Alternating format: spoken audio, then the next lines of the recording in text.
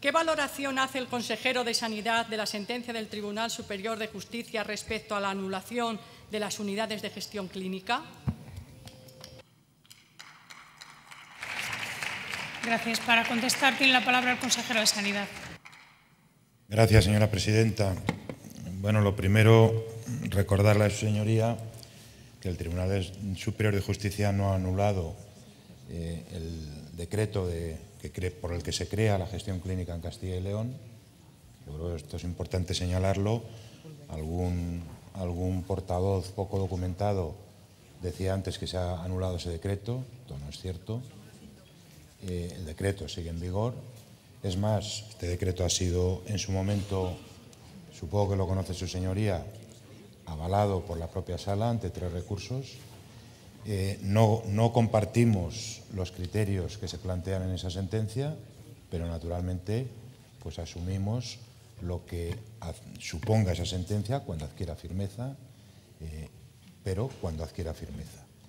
Por lo tanto, una valoración de no compartir los contenidos por razones diversas, que después le puedo comentar, eh, reiterando además que esta sentencia, desde luego, no anula la gestión clínica en Castilla y León sino una orden por la que se crearon 15 unidades de gestión clínica. Muchas gracias.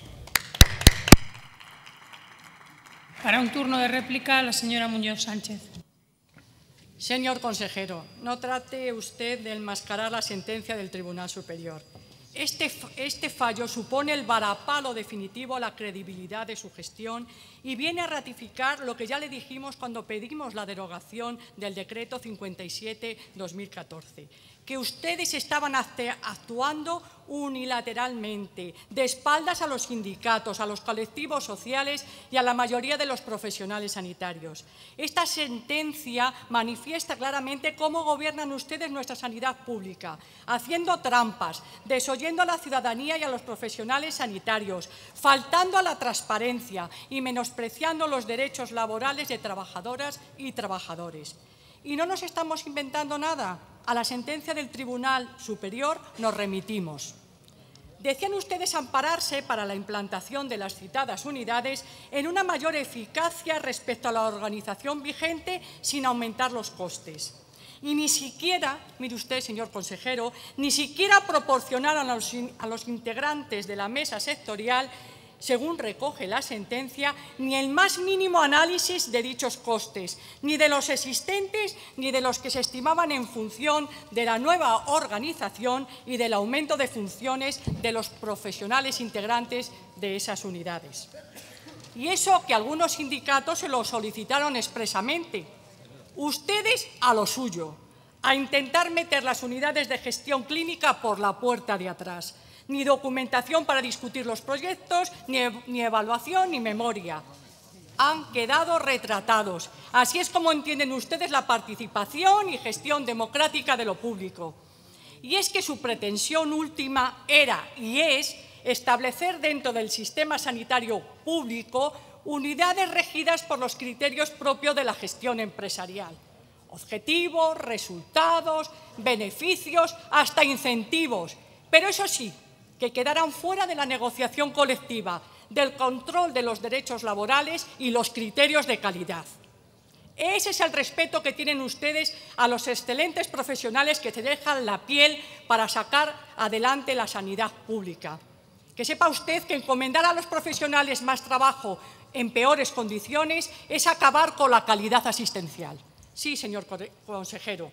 Teníamos razón también cuando le decíamos que tal como estaban diseñadas las unidades de gestión en cuanto a la elección de sus miembros, se iban a acabar, convirtiendo en cortijos privados. Y en esa línea caminan, porque según la sentencia han vulnerado hasta su propio decreto, integrando en los, comités clínicos miembros electivos.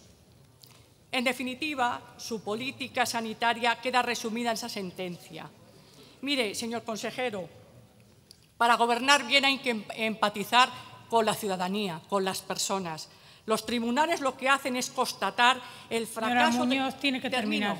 Esta es mi última frase, señora presidenta.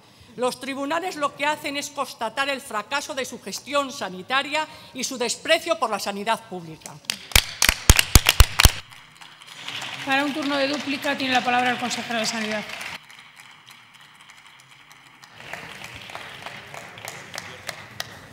Gracias, señora presidenta.